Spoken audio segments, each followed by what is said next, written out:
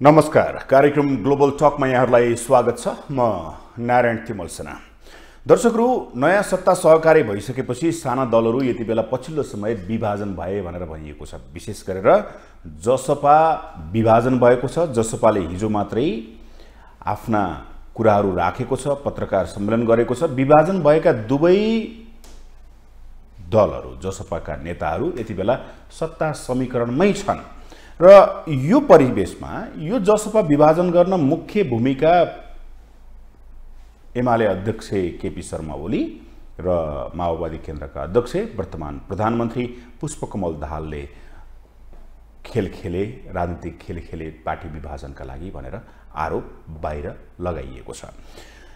यता नयाँ सत्ता समीकरण बन्दै गर्दा गृहमन्त्रीका विषयमा निकै विवादास्पद कुराहरू बाहिर निकालेर कङ्ग्रेसले संसद अवरुद्ध गरिराखेको थियो र राष्ट्रपतिले भोलिबाट हुने संसद अधिवेशनको लागि उहाँले जुन आह्वान गर्नुभएको छ त्यसलाई त्यहाँ शीर्षस्थ नेताहरूले आफ्ना कुराहरू राख्ने भनेर भनिएको छ।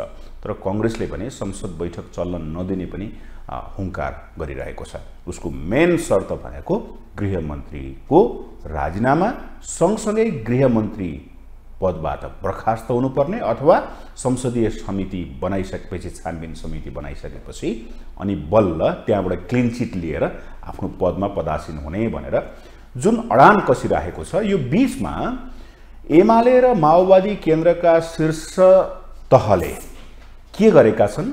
एमाले अब के गर्छ?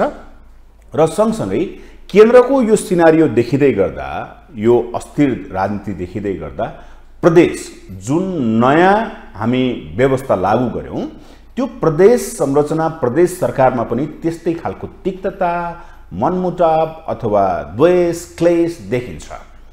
समीकरण एउटा छ। समीकरण एउटा हुँदाहुँदै प्रदेशमा पनि त्यो समीकरण फेरि फेरबदल हुन गइरहेको छ। यता केन्द्रमा रहेको नेकपा एकीकृत समाजवादी अब सरकारमा बस्न निकै अप्ठ्यारो भएको भनेर हिजो प्रधानमन्त्रीलाई जानकारी गराएको छ।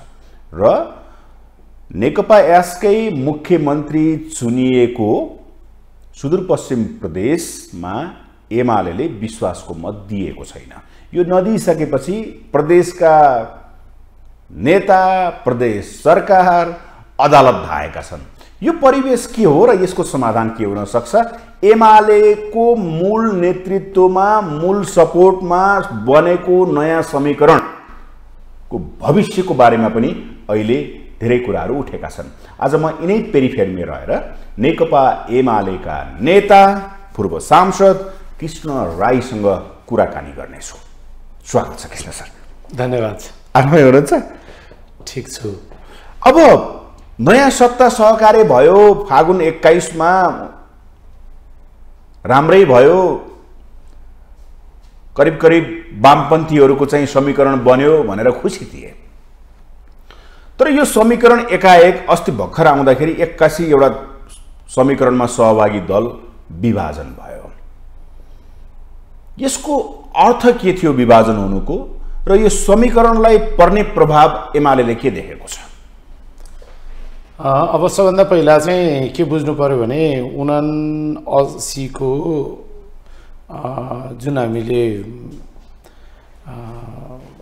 रिजल्ट हेर्छौँ भने अब यो अहिले जति पनि संसदीय अभ्यासभित्र खेलिने खेलहरू छन् बाहिर बाहिर हेर्दाखेरि जति नै अस्वाभाविक लागे पनि अङ्कगणितीय हिसाबले अथवा सरकार निर्माणका सन्दर्भले अब त्यो स्वाभाविक पनि छ।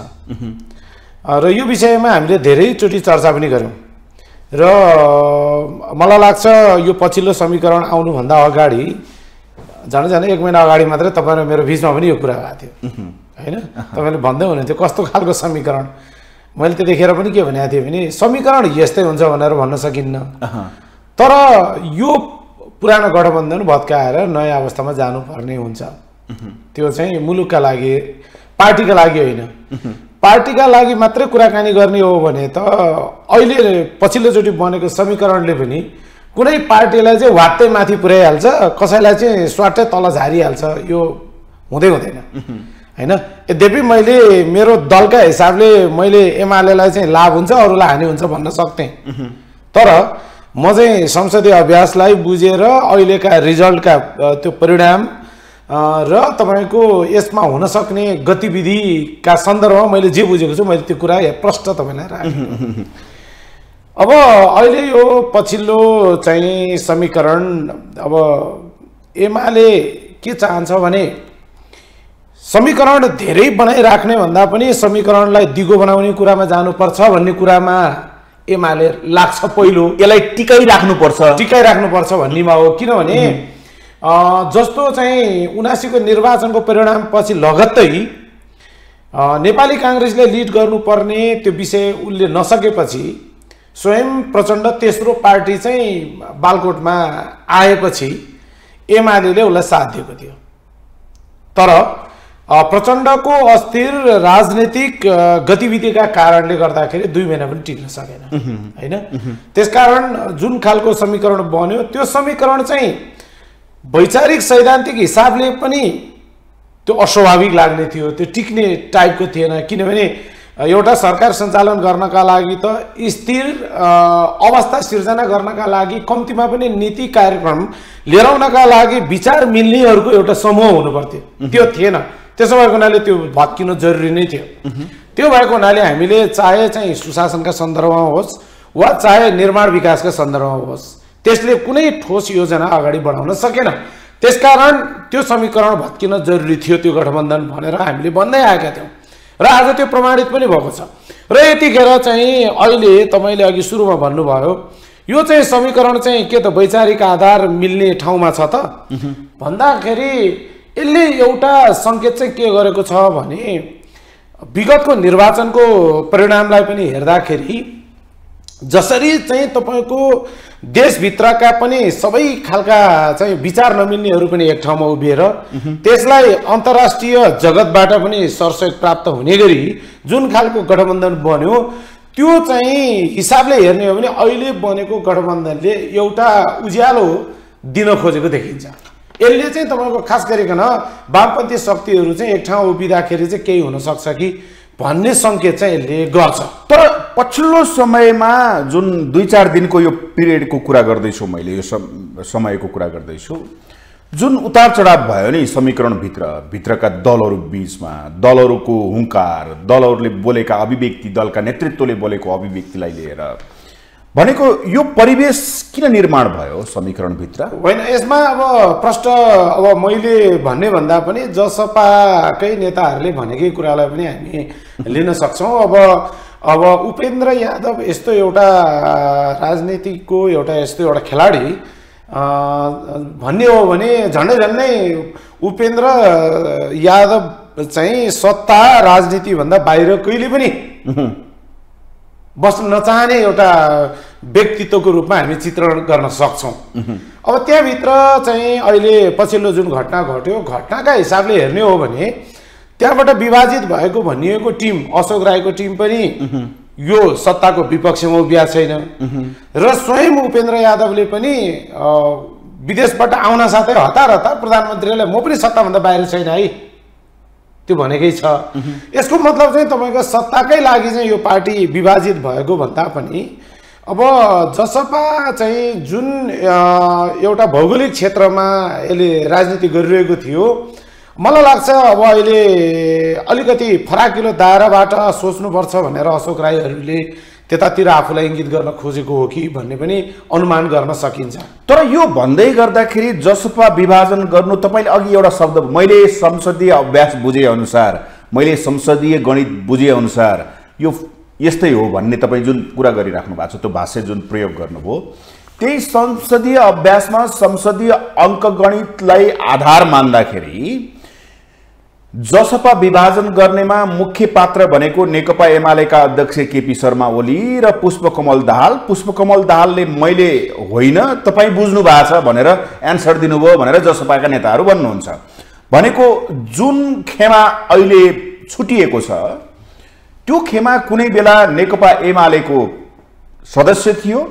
त्यो खेमा ऊ चाहिँ लोकतान्त्रिक उनीहरूको जुन नीति सिद्धान्त छ त्यो सिद्धान्तमा बस्न नसकेर फेरि अहिलेकै वामपन्थी खेमामा आउन चाहन्छ र यो पार्टी विभाजन गर्यो भनेर आरोप त एमालेलाई छ पार्टी विभाजन गराउनेमा। होइन अब यो आरोपलाई पहिला के बुझ्न जरुरी छ भने पछिल्लोचोटि उपेन्द्र यादवलाई जिताउनका लागि भन्नुहोस् वा अशोक राईलाई जिताउनका लागि भन्नुहोस्। एमालेको भूमिका बिर्सनुहुन्न नि। र अहिलेको सन्दर्भमा जोड्ने हो भने सत्ता समीकरणभित्रको दललाई विभाजन गर्दाखेरि त सत्ता समीकरणकै सङ्ख्या घट्छ त। त्यो घटाउने कुरामा चाहिँ अनि अहिलेको प्रमुख माओवादी र एमाले लाग्छ होला त। कि आफ्नै सरकारलाई सङ्कट बनाउन लाग्छ होला त? त्यो होइन अशोक राईजीले भन्नुभएको छ नि सरकारलाई समर्थन नदिने अर्को कङ्ग्रेससँग समीकरण गर्ने जसका कारण त्यो डर भएर हामी पार्टी विभाजन गरे भनेर भन्नुहुन्छ नि। त्यसका लागि चाहिँ रोल अब बाह्रको सङ्ख्या छ। बाह्रमा सात यतातिर आइसकेपछि त त्यो त अल्पमतमा पर्यो। त्यसले त केही गर्न सक्दैन। गणितीय हिसाबमा एक सय सन्ताउन्न कि एक सय उन्साठी थियो। होइन, हिसाब गर्दै जाँदा तपाईँहरू एक सय तिस एक सय चालिसको हाराहारीमा नेकपा एस पनि नरहोस् जसपाको उपेन्द्र यादव पनि नरहोस्। तर यतातिर आओस् भनेर त्यो लङ टर्मलाई हेर्दाखेरि सत्ता टिकाउनको लागि यो खेल खेलियो पार्टी विभाजन गरियो। अब त्यो त हुन्छ त्यसरी आउँछ कि आउँदैन भन्ने कुराको त के ग्यारेन्टी छ र जस्तो चाहिँ हिजो चाहिँ एमालेको एब्सोल्युट मेजोरिटीको सरकार हुँदाखेरि अब माधव नेपाललाई टुक्राएर हामीतिर जोड्न सकिन्छ कि भन्नेहरू पनि त अहिलेसम्म हेरे हेरै छन् त। माधव नेपाल त जोडिएको छैन कुनै पनि ठाउँमा। मा नेकपा यस्तो जोडिया छैन। सम्भवतः त्यतिखेर प्रचण्डले आफ्नो पार्टीमा गाड्न सकिन्छ कि भनेर हेरे पनि थियो होला। होइन? तर मैले अघि नै के भने भने अब अहिले चाहिँ त्यो जसपाभित्र अशोक राईहरूले गरेको तर्कको कुराकानी गर्नुहोस् वा उपेन्द्र यादवले गरेको तर्कको कुराकानी गर्नुहोस्। अब मलाई चाहिँ के लाग्छ भने यो समीकरणमा उहाँहरूभित्रको लामै समयदेखि असहमतिका धेरै सन्दर्भहरू थिए होइन? यो विषयमा राजेन्द्र श्रेष्ठले अस्ति पत्रकार सम्मेलनबाट पनि धेरै कुरा प्रश्न पारेको छ त्यही भएर अब त्यतातिर धेरै चर्चा परिचर्चा। पर्खनुहोस् न पछिल्लो सिनारियो कङ्ग्रेस प्रतिपक्षमा गयो कङ्ग्रेसले यो सरकार यो समीकरण भत्काउन चाहन्थ्यो र जुन यो अहिलेको पछिल्लो खेल भयो प्रचण्ड र ओली मिले भने यी दुईटा खेलाडीसँग कसैले नसक्ने रहेछ है होइन अब यो चाहिँ के हुन्छ भने अब राजनीतिक परिदृश्यमा अब परिवेश अनुसार जुन प्रकारको राजनीतिक आँधी बेहरीहरू सिर्जना हुन्छ अब त्यसलाई कसले ट्याकलिङ गर्ने भन्ने नै हुँदो रहेछ। यो संसदीय व्यवस्थामा अब मलाई मन परे पनि नपरे पनि हारेपछि सक्यो कि? यो एउटा चाहिँ संसदीय परिपाटीले चाहिँ जित्ने नै खेलको विकास गराउनका लागि उद्धत गराउने रहेछ। हार्नुको त केही अर्थै हुँदो रहेछ नि त पछिल्लो राजनीतिक रणनीतिमा सत्ता रणनीतिमा प्रचण्ड र ओली सफल भए होइन त अब यसमा चाहिँ तपाईँले एउटा चाहिँ म पनि एउटा एमालेको एउटा ठाउँको कार्यकर्ताको हिसाबले हामीमाथि पनि एउटा प्रश्न छ। होइन साँच्चै एमाले सत्ता राजनीति नै गर्न खोजेको हो भने एमाले चाहिँ एकदम झिना मसिना टाइपको जुन चाहिँ समाजमा प्रत्यक्ष प्रभाव नपर्ने टाइपको मन्त्रालय मात्रै लिएर सबै अरूले दिएर के गरेको? भन्ने प्रश्न एमालेको कार्यकर्ता वित्तमा पनि छ नि। यो कुरा तपाईँलाई पनि थाहा छ। होइन? म धेरै नेताहरूलाई यो प्रश्न गरेँ। हो। मात्रै हाम्रो कुरा के हो भने मैले अगाडि पनि तपाईँसँग इन्टरभ्यूमा भने कि त्यो अघिल्लो गठबन्धनले मुलुकको अग्रगामी दिशालाई पक्र्न सकेन सक्दैन। सकेन मात्र होइन सक्दैन फेरि पनि।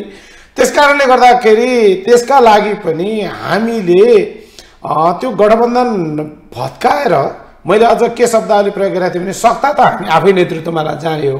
सकेन भने पनि अब कङ्ग्रेस जुन खालको चाहिँ किङ कर्तव्य विमूढ भएर ऊ चाहिँ तपाईँको प्रचण्डको एउटा कुटनीतिक चालभित्र चाहिँ नतमस्तक भएको थियो।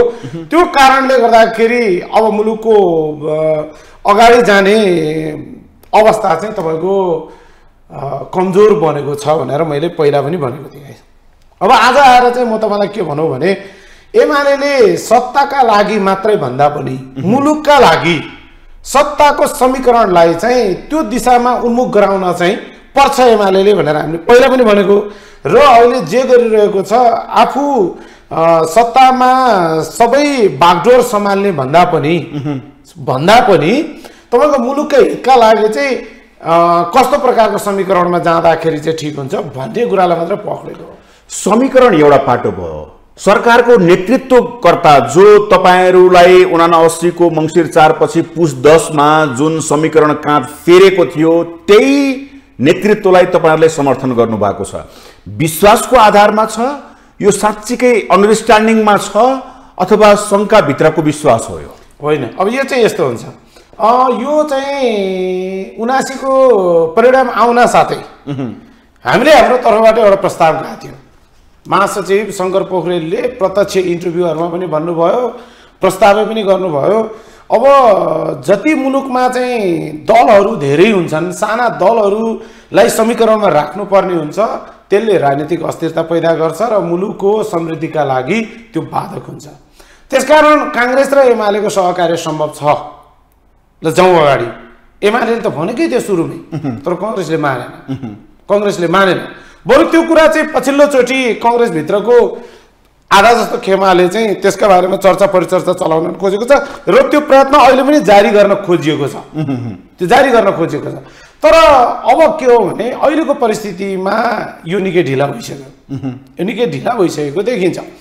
र अब प्रचण्डसँगको कुराकानी गर्ने हो भने कङ्ग्रेस र एमाले एक ठाउँमा जोडिन नसक्न साथै यस्तो फ्याक्टर चाहिँ अगाडि आइदिन्छ कि त्यो चाहिँ माओवादी नै तपाईँको निर्णायक शक्ति भनिदिन्छ। त्यसो भएको हुनाले अब अहिले प्रचण्डलाई शङ्का गरेर होइन। शङ्का गरेर होइन।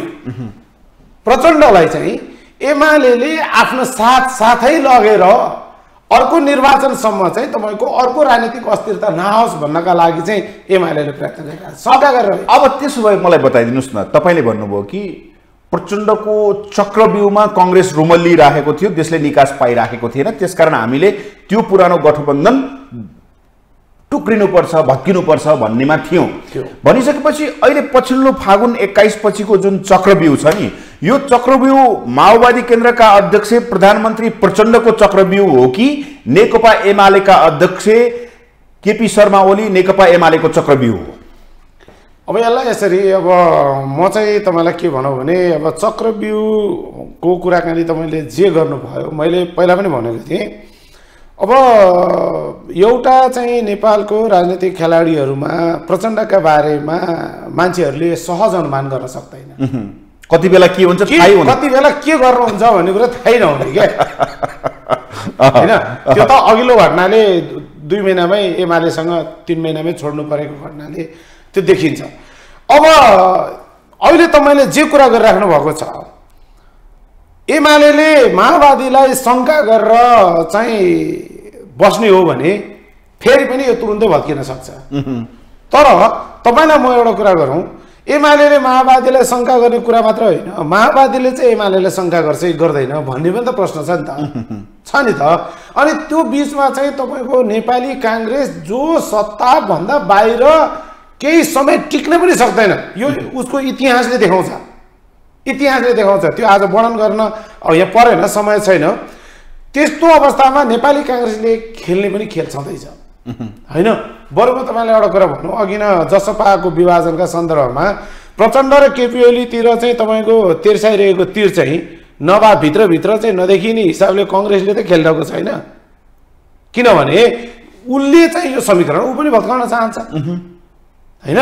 त्यस कारणले गर्दाखेरि मलाई के लाग्छ भने तपाईँले यो चक्रव्यूह भनेर तपाईँले जुन प्रकारको भनिराख्नु भएको छ यो केपी ओलीले गर्यो कि प्रचण्डले गर्यो कि भन्ने कुरा भन्दा पनि अहिले जसपाको विजा विभाजनका सन्दर्भमा उहाँहरूभित्रकै तपाईँको तर्क वितर्कलाई तपाईँको हेर्ने हो भने फेरि पनि मैले तपाईँलाई भन्छु सत्तामा जाने सन्दर्भमा उहाँहरू दुवै दुवै टिम से सेट देख्नुहुन्छ देखि देखिएको छ। भनेपछि उहाँहरूभित्रको चाहिँ सैद्धान्तिक वैचारिक राजनीतिलाई अगाडि बढाउने सन्दर्भमा लामो समयदेखि असमझदारी रहेको होइन? त्यो त्यो एउटा विगत मेरो प्रश्न कहाँनिर हो भने यो समीकरण तपाईँले भन्नुभयो कि पहिलाको गठबन्धन जुन निर्वाचनमा पनि एमालेलाई एक ल्याएर गरेको गठबन्धन जनतालाई हामीले प्रश्न गर्दाखेरि तपाईँहरूले त बेइमान गर्नुभयो नि जनतालाई भन्छौँ।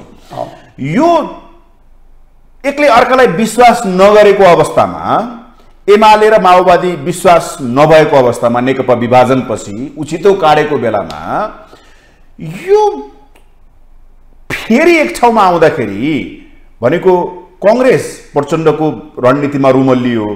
अहिले यो समीकरण कसको रणनीतिमा रमल्लिएको हो? एमालेको कि माओवादीको कि कि राष्ट्रपाको कि के हो कुरा? होइन अब अरू दलको त त्यति धेरै चर्चा गर्न जरुरी छैन। तपाईँले भने जस्तो एमाले र माओवादीभित्र नै यो प्रश्न तेर्सिने नै हो। तर म तपाईँलाई के भनौँ भने यो चाहिँ पछिल्लो घटनाहरू जे भएको छ मैले सुरुमा पनि तपाईँलाई के भने भने अब यो संसदीय गतिविधि भने यसै तपाईँले त्यो शब्द निकाल्नुभयो। मेरो भनेको रणनीति एमालेको रणनीति कि माओवादीको रणनीति कि ओलीको रणनीति कि प्रचण्डको रणनीति? कहाँनिर? यसलाई चाहिँ म चाहिँ के ठान्दछु भने अब अहिले यो सरकारलाई चौरासीको निर्वाचनसम्म लैजानुपर्छ भन्ने कुरामा माओवादी र एमाले दुवैको एउटै मत देखिन्छ। अहिलेसम्म त्यसमा केही पनि देखिँदैन। त्यो भएर अब यसलाई चाहिँ भत्काउनका लागि भनेर दुवैतर्फबाट शङ्का मात्रै उत्पन्न गऱ्यो भने जुनसुकै बेला यो पनि गल्लाम गुल्लुम जान सक्छ। त्यसकारण मलाई लाग्छ अब यो चाहिँ कुनै एउटा राजनीतिक दलको तर्फबाट मात्रै भन्दाखेरि पनि यो यदि रणनीति केही गरी अगाडि आएको हो र बनेको छ भने मलाई लाग्छ यसमा केपी ओली र प्रचण्ड दुवैको सहमति भन्दा हुँदैन यो। दुवैको सहमति रणनीति सफल गर्न सकिँदैन। ओके त्यसो भए यो समीकरण त बन्यो। समीकरणमा तपाईँहरूले एमालेबाट विद्रोह गरेको नेकपा यसलाई पनि सरकारमा आउनुहोस् भनेर आग्रह गरेर भित्तामै पुर्याउने चिज देख्दा पनि मुख खुल्ला गर्नै पर्छ भन्ने मान्छेलाई सत्ता समीकरणमा ल्याउनु भयो। पछिल्लो समयमा त्यही दलको नेतृत्वले प्रधानमन्त्री म बन्छु भनेर धेरैको पेट पोलिराखेका छ भनेर अभिव्यक्ति दिँदै हिँड्नुभयो।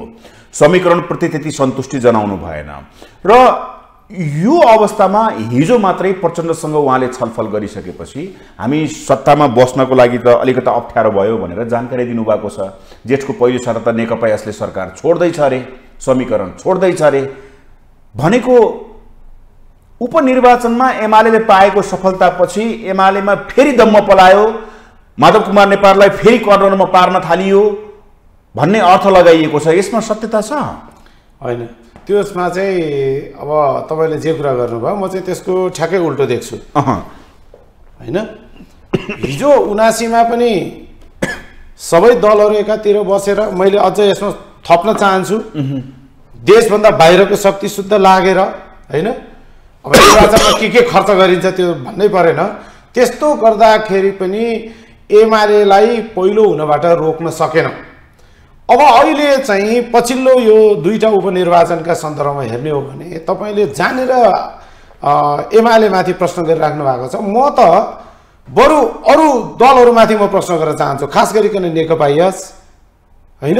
स्वयं नेकपा माओवादी पनि जो चाहिँ तपाईँको एमालेसँग नराम्रोसँग पराजय हुनु पर्यो। अघि तपाईँले भन्नुभयो नि अब रासोपा लगायतका अरू राजनीतिक दलहरूका सन्दर्भमा त कुरै गर्नु परेन। रासोपा राप्रपा लगायतको त तपाईँको एउटा जनमत सङ्ग्रहको रूपमा हेरिएको निर्वाचनमा धरौटी समेत होइन जमानत समेत जफत हुने ठाउँमा पुग्यो। भनेपछि यहाँ त के प्रमाणित भएको छ भने एमालेलाई हिजोदेखि निचोर्दा निचोर्दा जति निचोरे पनि एमाले त तपाईँको हावा भरिएको बल जस्तो बेलुन जस्तो माथि माथि मात्रै आउँछ।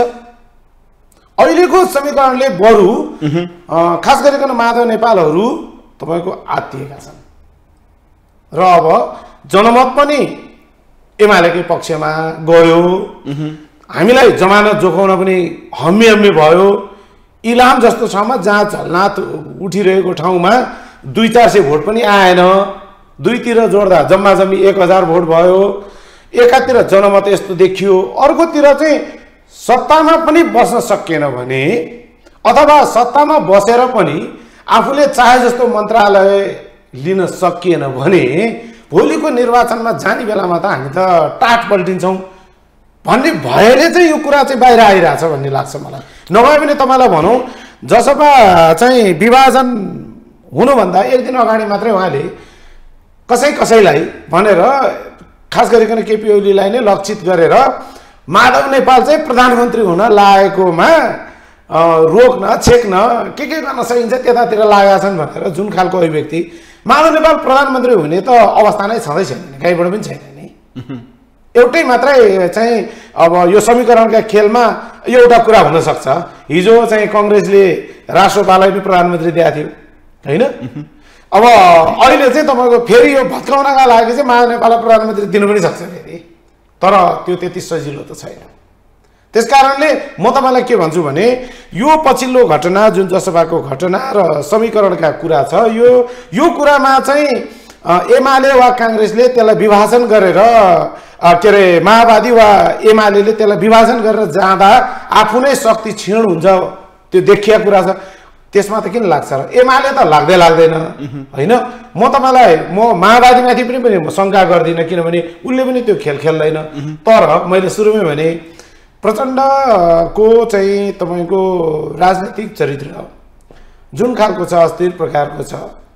अब त्यसले गर्दाखेरि तुरुन्तै बहकिने टाइपको हुनुहुन्छ हाम्रो प्रधानमन्त्री। न कहीँ कतै त्यो चाहिँ भोलिसम्म टिकिराख्नका लागि पाँच वर्षसम्म प्रधानमन्त्री बन्नका लागि कहीँ केही हुनसक्छ कि भन्ने अनुमान मात्र गर्न सकिन्छ तर म शङ्का गर्दिनँ। शङ्का एमाले गर्दैन। अब माधव नेपालको पार्टी समीकरण छोड्दैछ भनेको छ। यो समीकरणलाई प्रभाव पार्छ यसले? अब समीकरण त फेरि पनि अब यो अङ्कगणितकै कुरा हो होइन? प्रभावै पार्दैन त म भन्दै भन्दिनँ।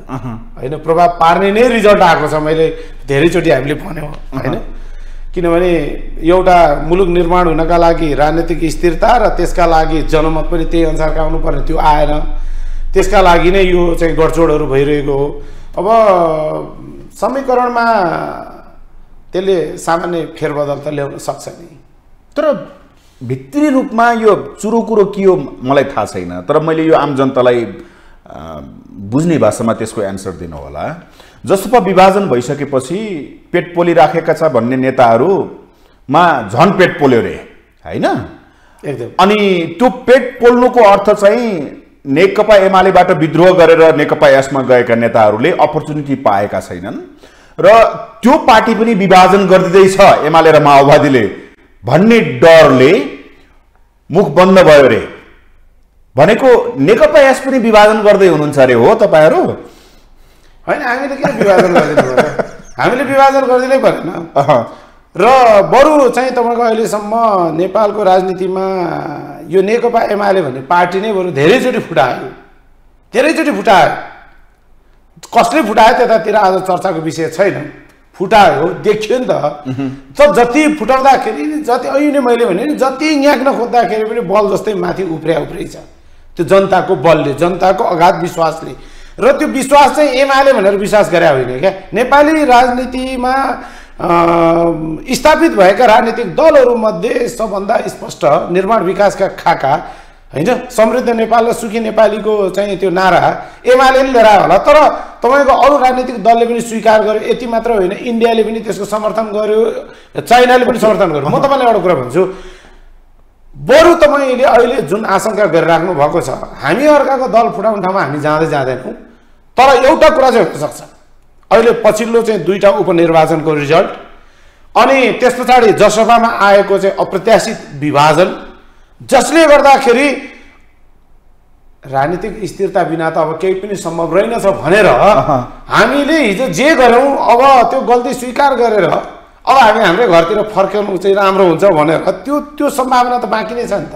किनभने उनीहरू त स्कुलिङ कहाँ कहाँ जन्मेको कहाँ हुर्किएको त्यो सम्भावना चाहिँ हुन्छ बरु। मैले आज तपाईँलाई कुनै एउटा राजनीतिको चाहिँ तपाईँको दिग्गज मान्छेले भनेको कुरा गरे होइन मैले म एउटा सामान्य राजनीतिको लेम्यान भएर भने। तपाईँले त्यो देख्नुहुन्छ होइन? फर्किन्छन् आफ्नै घर। किन फर्किँदैनन् यही परिवेश रह्यो। हामी त अहिले त्यही भएर भनिरहेको छौँ।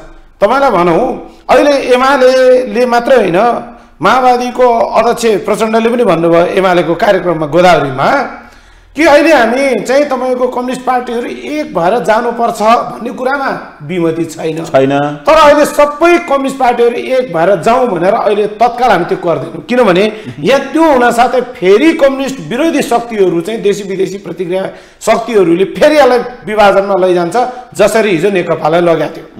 अब नेकपालाई मात्रै विभाजन गरेर पुगेन भएको एमाले पनि फेरि विभाजन गरेर तपाईँ नेकपा एस बनायो। भनेपछि अनि पछिल्लो यो चाहिँ तपाईँको जनताको अभिमतलाई हेर्दाखेरि त कम्युनिस्टहरू एक ठाउँ उभिनुपर्छ भन्ने त देखायो नि। हो नेकपा एमाले अहिले के आह्वान गरेको छ भने सबै कम्युनिस्ट पार्टीहरूलाई कार्यगत एकता गरेर अगाडि जाने। भनेको त्यो कार्यगत एकता भनेको चौरासीको निर्वाचनलाई पनि हो। चौरासीको निर्वाचनमा त हामीले सिङ्गल लड्ने भनेका छौँ। यसमा चाहिँ अरू अरू कम्युनिस्ट पार्टीहरूलाई नेपाली कङ्ग्रेसले महासमिति बैठकमा गठबन्धन नगर्ने भनिसकेपछि त्यो खेल भएर एमालेलाई फाइदा भयो गठबन्धन तोड्न। अब पनि माओवादीलाई साथ लैजान्नौ भन्नुभयो भने त के हुन्छ स्थिति? होइन। त्यो होइन। पर्खनुहोस् इलामको निर्वाचनलाई हेर्नुहोस्। हेरौँ। सुभाष चन्द्र नेमाङ एक सय चौध मत अन्तरले विजयी हुनुभएको थियो। ठिक छ। अहिले चार पाँच हजारको मतान्तरले सुहाङ नेमाङ विजय हुनुभएको छ। भनेको माओवादीले सपोर्ट गर्यो भने त एमालेलाई फाइदै हुने रहेछ। भनेको जुन तपाईँहरूको इच्छा छ बहुमत ल्याउने बहुमत ल्याउने भनेको पार्टी एकीकरण मैले भनिनँ पार्टी एकीकरण गरेको अवस्था हामीले देखेका छौँ तपाईँहरू मिल्न सक्नुहुन्न। तर कार्यगत एकता गर्दै जाँदाखेरि चौरासीमा तपाईँहरू एकता कार्यगत एकता समीकरण बनाएर गठबन्धन गराएर निर्वाचन लड्न सक्नुहुन्न भन्ने हामी एक्लै लड्छौँ भनेर अझै पनि हुङ्कार गर्दै हुनुहुन्छ? हुङ्कार होइन। हुङ्कार होइन। तपाईँको अघिल्लो चाहिँ नेकपाको सरकार भत्किएपछि त यही निर्वाचन प्रणालीले एकल बहुमत ल्याउनलाई धेरै प्रयास गर्नुपर्छ। इलाममा देखियो एक सय चौध मतले विजय हुनुभएको सुभाषचन्द्र नेङमाङ माओवादीले गर्दाखेरि पाँच छ हजार मतले सुहाङ नेङ नेङमाङ विजय हुनुभएको छ। भनिसकेपछि चौहत्तरको निर्वाचनलाई हेरौँ माओवादी र एमाले मिले करिब करिब दुई तिहाई मत लिएर आए। होइन? यो त छ होला नि मनस्पटलमा। कि त। प्रचण्डले भन्नुभएको छ दीर्घकालीन अवस्थालाई हेरेर अत्यन्तै सोच विचार गरिएर गरिएको समीकरण हो यो। तपाईँले एउटा कुरा बिर्सनु भयो कहाँनिर सुभाष? नेमाङले सय चान्सेले मात्र जित्यो भनिराख्दाखेरि। अहिले पाँच हजार बन्दा चाहिँ त्यो माओवादीको प्लस भयो भन्ने कुरा सत्य हो। सत्य हो। सत्य ओके। त्यसो भए हिजो त्यो नेम्बाङसँग चाहिँ सुभाष नेम्बाङसँग लड्ने खड्काले चाहिँ प्राप्त गरेर त्यो चाहिँ त्यो थोरै मतान्तर भएको चाहिँ कसले जोडेर त फेरि? त्यो- त्यहाँ पनि जोड्यो। माओवादी जोड्यो. त हो अब मा ठिक छ नि त। माओवादी पनि छुट्टै लड्छ काङ्ग्रेस पनि छुट्टै लड्छ एमाले पनि छुट्टै लड्छ। अब तपाईँ डिफ्रेन्स त्यहाँनिर देख्नु सक्छ पाँच हजार होइन अब दस हजारमा जान्छ अब डिफ्रेन्स तर सत्ता सहकार्य गर्न र उ गर्दाखेरि त अलिकता त्यो जुन भाष्य मैले देखेको छु नि एमालेको शीर्ष नेतृत्वको माओवादीको शीर्ष नेतृत्वको एक्लै जाला त त्यसो त्यसो त तपाईँको किन जान सक्दैन? अस्तिकै त्यही दिनमा भएको निर्वाचन बजारमा हेर्नु न त तपाईँ। सत्ता समीकरणभित्रका माओवादी पनि लड्यो नेकपा यस पनि लड्यो काङ्ग्रेस काङ्ग्रेस त अब प्रतिद्वन्दी नै भइहाल्यो एमाले पनि लड्यो सबै लड्यो त। सबै लड्यो त। तपाईँको पछिल्लो दिनको रिजल्टमा त एमाले जित्छ कि जित्दैन कि भन्ने त्यो थियो किनभने कम्युनिस्ट पार्टीहरूको भोट चाहिँ सँगसँगै बढिराख्दाखेरि चाहिँ त्यहाँनिर चाहिँ कङ्ग्रेस अगाडि आउँछ कि भन्ने परिस्थिति थियो नि त। आएन नि त त्यहाँ पनि एमाले जित्यो। ओके ठिक छ। अब त्यही भएर हामी चाहिँ यो के भने हामी चाहिँ के कुरामा क्लियर छौँ भने यो आज भने हो र भने। आज भने होइन नि। उनासीमा पनि एक्लै लड्ने भनौँ। अनि अहिले पनि त्यही बेलामा हामीले घोषणा गरेर हामीले त यी मिसन ग्रासरुट भनेर चलायौँ अहिले विशेष अभियान भनेर चलाइरहेका छौँ। एउटा ठाउँको चाहिँ तपाईँको नेतालाई चाहिँ अर्को जिल्लामा चाहिँ काम गर्नका लागि एक वर्ष जस्तो म नै अर्को जिल्लामा गएर काम गरिरहेको छु होइन? अनि मिसन चौरासीका लागि हामीले यो एकासी साललाई चाहिँ सङ्गठन शुद्धि शुद्धिकरण र सुदृढीकरणको वर्षको रूपमा हामी एक वर्ष यसमा हामी यो लगाउँदैछौँ फेरि। त्यो सबै कुरा चाहिँ के हो भने हामीले एक्लै एक्लै लड्नका लागि भनेको। एकचोटि जाँच पनि गर्नु पर्यो यो पनि हो हाम्रो कुरा। ओके। तर तपाईँलाई म एउटा कुरा भन्छु। काहीँ काहीँ परिस्थिति के हुन्छ भने लु यो ठाउँमा चाहिँ एउटा निर्वाचन क्षेत्रमा चाहिँ यसो गरौँ न त। भन्ने त्यही जिल्ला वा त्योभन्दा तलका स्थानीय तहले कहिलेकाहीँ मिलाइदियो भने त्यो ठाउँमा त्यस्तो पनि हुनसक्छ। त्यस्तो कार्यगत तर एकता कार्यगत एकता हुन सक्छ गठबन्धनै हुँदैन। गठबन्धन चाहिँ हुँदैन। ओके। अहिले एमाले नगर्ने पक्षमै छ अहिलेसम्म। भोलि त के हुन्छ थाहा छैन। होइन अब यो त फेरि ठिक छ कुरा ठिक छ। अब समीकरणको कुरा संसदीय अभ्यासमा नेकपा यस त बाहिरिन्छु नै भन्यो होइन? अप्ठ्यारो भयो भनेर भनेको छ। अब तपाईँहरूले राष्ट्रिय स्वतन्त्र पार्टीलाई त्यसको नेतृत्वलाई काँधमा हालिराख्नु भएको छ। प्रतिपक्षले नेतृत्वलाई यति हानेको छ कि संसदीय समिति बनाऊ ऊ गर फल्ना गर ढिस्काना गर नै पनि हामी केही गर्न दिँदैनौँ भनेको यो समीकरणलाई जुन प्रहार गरिराखेका छ कङ्ग्रेसले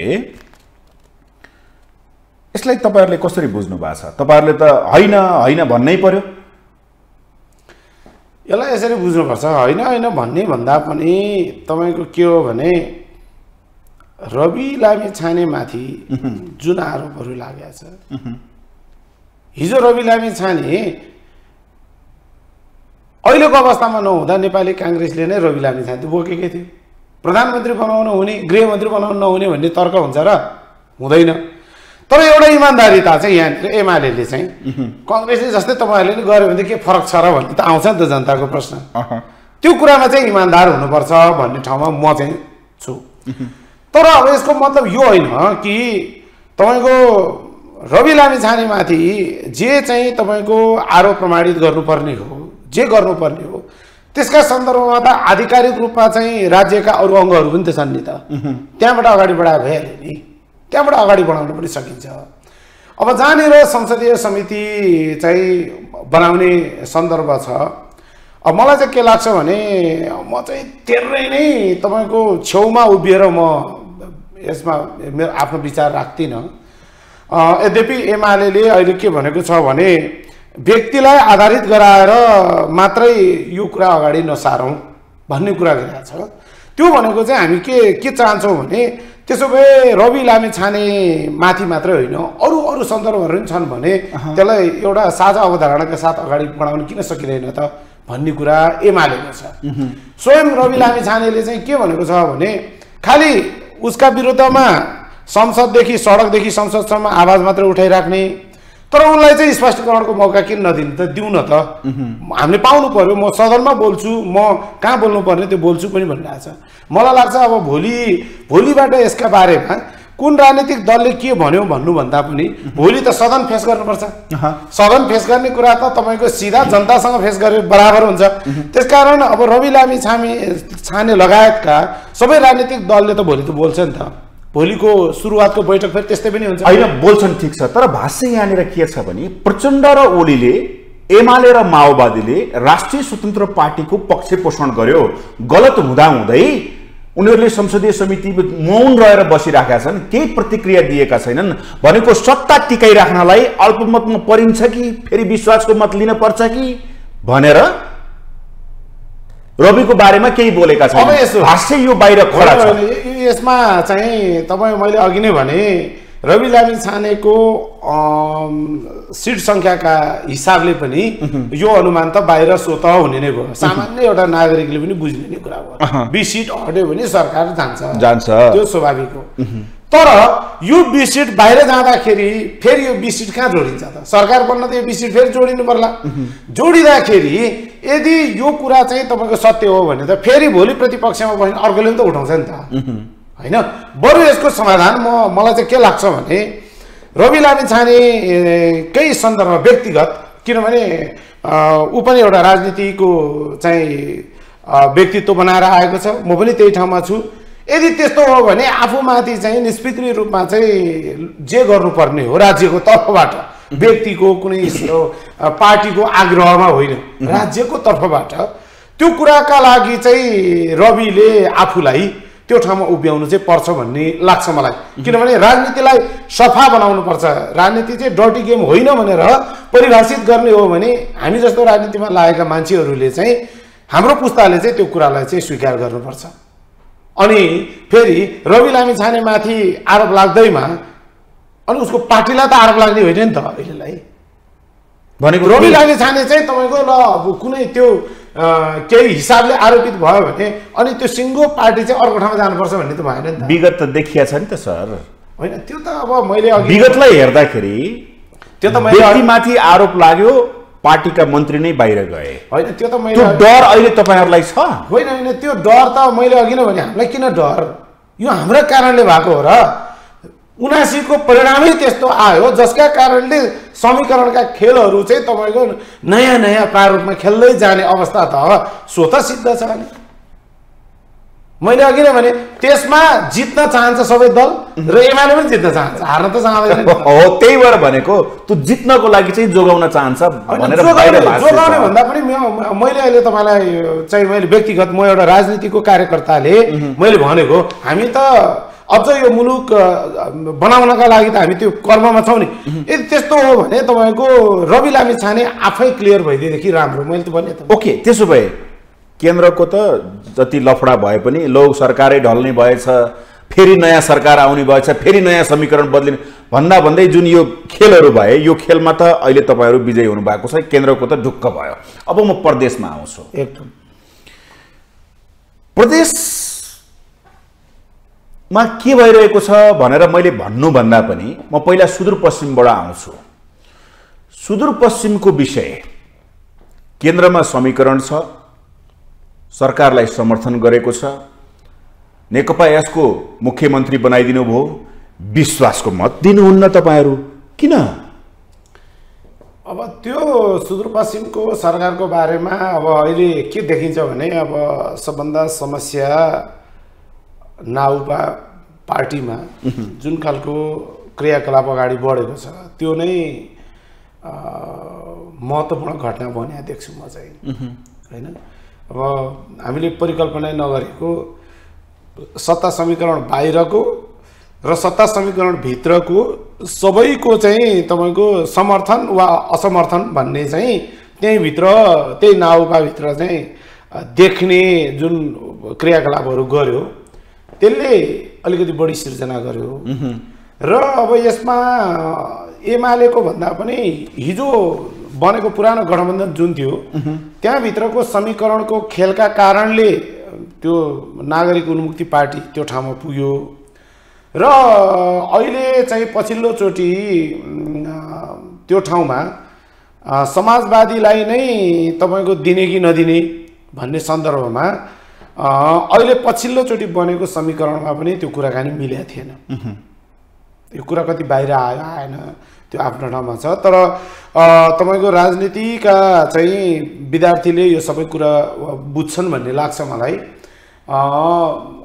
जो मान्छे अहिले मुख्यमन्त्रीमा प्रस्ताव गरिएको छ उहाँका बारेमा धेरै प्रश्नहरू अगाडि पनि आएका थिए। अब नेकपा यस अर्को मान्छेमा जान नसक्ने होइन? अब त्यो मान्छे विवादित एउटा व्यक्तित्वको रूपमा अगाडि आएको। त्यो चाहिँ तपाईँको एमाले मात्र होइन अब त्यहाँ नेकपा माओवादीभित्र पनि त्यो समस्या देख्छु। अनि किन बनायो त त्यस्तो मान्छेलाई मुख्यमन्त्री? होइन त्यो त यो हाम्रो तपाईँहरूले सपोर्ट गरे होइन? हाम्रो कुरा भएन नि। त्यो त तपाईँको मुख्यमन्त्री प्रस्ताव गरे त सम्बन्धित दलको हुन्छ नि त होइन? किनभने त्यो पार्टीले कसलाई त्यहाँ संसदीय दलको नेता बनाउँछ उही मान्छे त्यहाँ जाने अब संवैधानिक प्रोसिड्योर प्रक्रियाको कुरा नै हो त्यो। त्यसकारण अब मलाई लाग्छ त्यो विषयमा लिए त्यो विषयलाई नै लिएर होला माधव नेपालले त्यो जुन तितोहरू पोखिराख्नु भएको छ।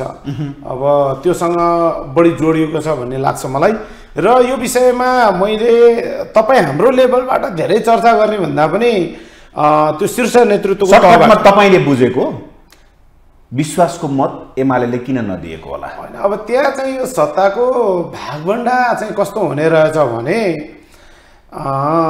विरोधीलाई तलाउने सन्दर्भमा जसरी मान्छे एकजुट हुन्छ अनि त्यो एकजुट भइसके पछाडि जब मान्छेले आफ्नो जिम्मेवारीको कुराकानी गर्छ जिम्मेवारीको कुराकानी गरेपछि त्यहाँ पनि तछाड मछाड हुँदो रहेछ। यो संसदीय अभ्यासको एउटा ड्रब्याक नै हो यो। अब यो पनि त्यसमा मिसिएको छ। त्यसले गर्दाखेरि यो अवस्था सिर्जना भएको भन्ने लाग्छ। र अब व्यक्तिगत रूपमा म चाहिँ यो यो विषयमा चाहिँ यसो हुनुपर्छ भनेर म भन्दिनँ। यो चाहिँ तपाईँको के हो भने अब समीकरण जोगाउनका लागि अब जसरी अहिले अरू अरू दलको कुरा छोडिदिउँ माओवादी एमाले त्यस पछाडि माधव नेपाल। पर्खनुहोस् न। कोशीमा तपाईँहरू सरकार बनाउनको लागि तम तयार भएर बसिराख्नु भएको छ। बनिसकेको सरकारलाई केन्द्रको समीकरण अनुसार सुदूरपश्चिममा विश्वासको मत नदिएर त्यो मुद्दा अदालतमा आएको अवस्था छ। भनिसकेपछि तपाईँहरूले नदिएको किन? कोशीमा तपाईँहरू कसिनु भएको छ? हामी सरकार बनाउँछौँ बनाउँछौँ भनेर। सुदूरपश्चिममा तपाईँहरू भन्नुहुन्छ नेकपा एस यस्ता व्यक्ति उस्ता व्यक्ति बाटो घुमाइराख्नु भएको छ भनेको नेकपा यसको मुख्यमन्त्री नबनोस् नेकपा यसलाई हामी पार्टी नै मान्दैनौँ भन्ने एमाले अहिले त्यही देखाएको हो अब यसमा चाहिँ अब मैले अघि नै भने तपाईँलाई अब म यसमा के जान्न भने। अब नेकपा यसकै भागमा त्यहाँ त्यो मुख्यमन्त्री परेको थियो कि थिएन कि हाम्रो लेभलमा थाहा छैन कि? हाई लेभलमै त्यो जाँदाखेरि हुन्छ मैले त्यो भने। फेरि तपाईँलाई म अर्को कुरा के अब- तपाईँको एउटा राजनीति एमालेको कार्यकर्ता राजनीति बुझेको मान्छे। होइन त्यो चाहिँ के भएको होला मैले के भने भने शीर्ष नेतृत्वको बिचमा चाहिँ त्यहाँ दिने सहमति बनेको रहेछ भने त्यो दिनुपर्छ। किनभने त्यो चाहिँ अहिले जो व्यक्तिको कुराकानी गरिरहेको छ त्यो ठाउँमा त भोलि म म पनि पुग्न सक्ने हुन्छ नि त कुनै पनि बेला। त्यो भएर त्यसमा चाहिँ जे सहमति भएको थियो त्यो अनुसार जानु नै राम्रो हुन्छ। अब तपाईँले यता कोसीको कुराकानी जोडिराख्नु भएको छ कोसीमा त तपाईँको एक प्रकारले भन्यो भने लगभग संवैधानिक सङ्कट नै त्यहाँ आएको देखिन्छ। होइन? अब तैपनि अब आज रातिबाट परिस्थिति फेरबदल भइसकेको छ। होइन? अब सम्भवतः अब अहिले एकछिन पछाडि नै त्यहाँ सरकार बनिसकेका पनि हुन्छ। अब एउटा पक्ष तपाईँको अदालत गइसकेको पनि हुनसक्छ। हामी यो यहाँबाट बोल्दै गर्दाखेरि। बोल्दै तर गर्दाखेरि एउटा अचम्मको कुरा देखियो कि कोशी प्रदेशमा एक सय अडसठी पाँच पहिल्यै लागू भइसकेका थियो। सपोर्ट गरे नै केदार कार्कीलाई तपाईँहरूले चाहिँ मुख्यमन्त्री बनाएकै हो होइन र? फेरि त्यसैलाई टेकेर फेरि सरकार बनाउँछु भन्नु चाहिँ कानुन सम्मत संवैधानिक संविधान सम्मत हुन्छ र भने? होइन यसमा के देखिन्छ भने अब तपाईँको पहिलोचोटि केदार कार्कीलाई समर्थन गर्ने चाहिँ त्यहाँको प्रमुख नै होइन? अब अहिले उसको विपक्षमा उभिएको देखिन्छ। अनि अब तपाईँको एउटा चाहिँ केदार कार्कीले एमाले र माओवादीले समर्थन फिर्ता लिइसकेपछि एक महिनाभित्रमा उसले पनि चाहिँ बहुमत सो गर्नुपर्ने हो। विश्वासको मत लिनुपर्ने हो। लिनुपर्ने। यद्यपि केदार कार्की चाहिँ के भनिराख्नु भएको छ भने यो यो अडसठी पाँच बनेको चाहिँ सरकारले त्यो लिनु पर्दैन भनेर उहाँ अदालत जारी कुराकानी गरिराख्नु भएको छ। थाहा छैन यसको व्याख्या कसरी आउँछ। अब केदार कार्कीलाई एउटा समस्या के पर्यो भने विश्वासको मत लिउँ विश्वासको मत प्राप्त हुँदैन। अनि त्यस पछाडि तपाईँको अब त्यो धारा पाँचपछि धारा पाँचपछि पछाडि जाने ठाउँ छैन। छैन। भने उहाँले एउटा विघटन गर्न सक्नुहुन्थ्यो। त्यो विघटन गर्दाखेरि पनि तपाईँको यस्तो बेलामा यो त नेपालमा एउटा इकोनोमिकल क्राइसिस आइरहेको बेलामा त्यो फेरि उहाँमाथि चाहिँ त्यो एउटा ठुलो वज्रपातको चाहिँ आरोप लाग्छ कि भन्ने डराएर उहाँले त्यो कदम पनि चाल्नु भएन। विश्वासको मत लिने प्रक्रियामा पनि उहाँ जानु भएन। भनेपछि त त्यो सरकार त चल्नै नसक्ने भयो। मन्त्री नियुक्ति गर्नै नसक्ने भयो। केही पनि गर्न नसक्ने भयो एउटा मुख्यमन्त्रीले कसरी चलाउनु त? प्रदेश प्रमुखले जुन डिसिजन गर्नुभयो र उहाँले चाहिँ नयाँ सरकार निर्माणका लागि उहाँले आह्वान गर्नुभयो। उहाँ पनि संविधान सम्मत हुनुहुन्न।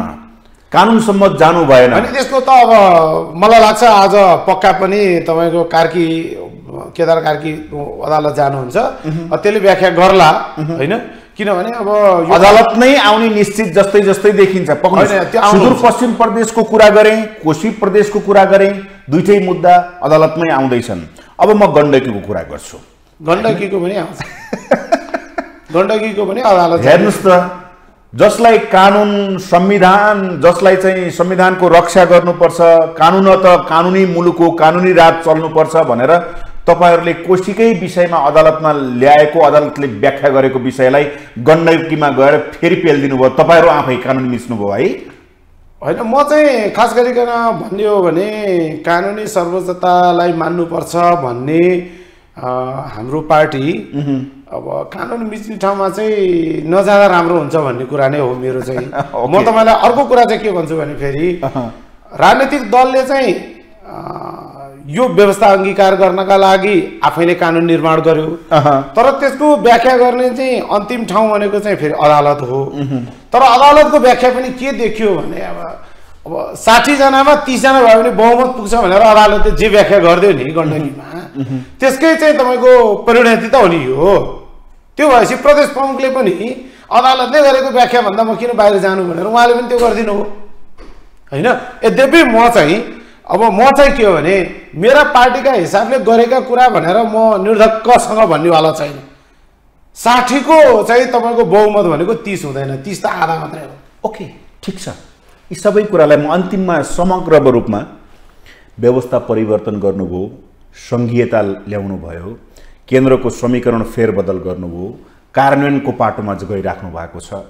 यी सबै राजनीतिक गतिरोधहरू अस्थिरता जुन छ अस्थिरताले यो व्यवस्था कामै छैन अवस्था खत्तम भयो सत्ता र शक्तिका लागि मात्रै डुबे जनताको विकास निर्माण विकास समृद्धि सामाजिक न्याय सबै हराउन थाल्यो भ्रष्टाचार बढ्न थाल्यो बेरोजगार बढ्न थाल्यो।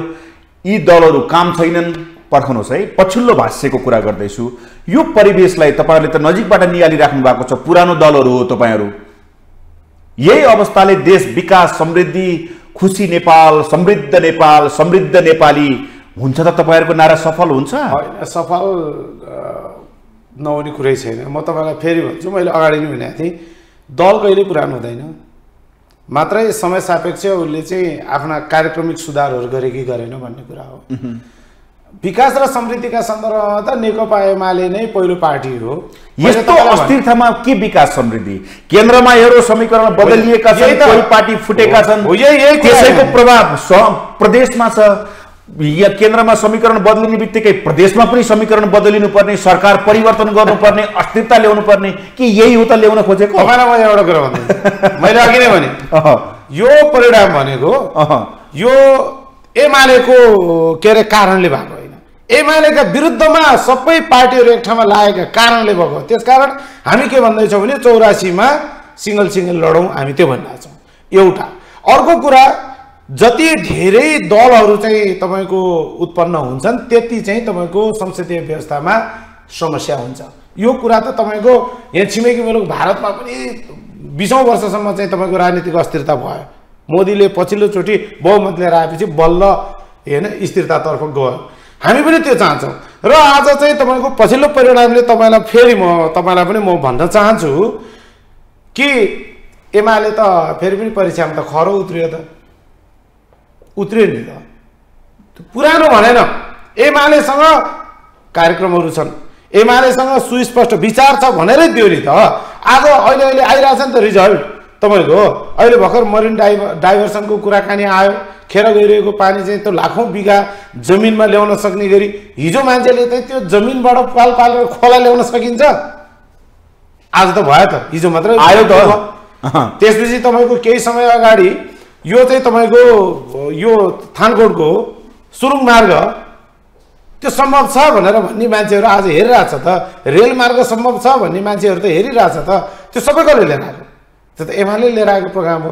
त्यसो हुनाले विकासका मोडलका हिसाबले भन्ने हो भने नेकपा एमालेसँग भएको जनताको बहुदलीय जनवादको कार्यक्रममा यी मोडालिटीहरू सबै छन्। त्यस कारणले एमाले पुरानो पार्टी पनि होइन बरु यसो गर्न सकिन्छ। हामी अहिले पनि हामीले अस्ति भर्खरै केन्द्रले महा राष्ट्रिय महाधिवेशनको चाहिँ प्रतिनिधि परिषदको बैठकले हामीले एउटा आह्वान गरेका छौँ। अब सानातिना जति पनि कम्युनिस्ट पार्टीहरू छन् एमालेमा समाहित भएर अगाडि बढौँ। चौरासीमा बहुमत एमालेको पक्षमा आउँछ। धेरै धेरै धन्यवाद छ आइदिनु भयो उहाँ हुनुहुन्थ्यो नेकपा एमालेका नेता।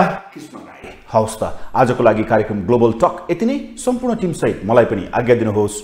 नमस्ते।